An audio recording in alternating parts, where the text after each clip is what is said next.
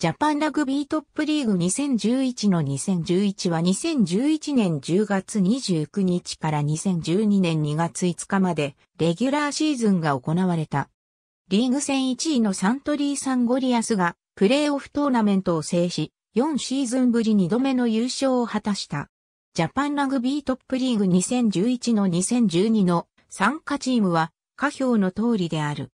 昨シーズンの結果、クボタスピアーズ、豊田自動織機シャトルズが地域リーグに降格し、NTT ドコモレッドハリケーンズ、ホンダヒートが地域リーグから昇格した。トップリーグの結果、13位、ホンダヒートのトップウェスト、14位、コカ・コーラウエストレッドスパークスのトップ九州への自動降格が決定した。以上の結果、1位クボタスピアーズのトップリーグチャレンジシリーズ1への進出が決定した。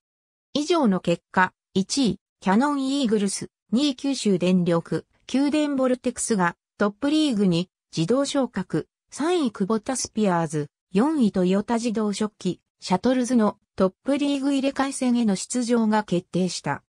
規定により、トップリーグ11位福岡サニックスブルースがトップチャレンジ1.4位のトヨタ自動食器、シャトルズとトップリーグ12位、NTT ドコモレッドハリケーンズがトップチャレンジ1.3位のクボタスピアーズと入れ替え戦を行った。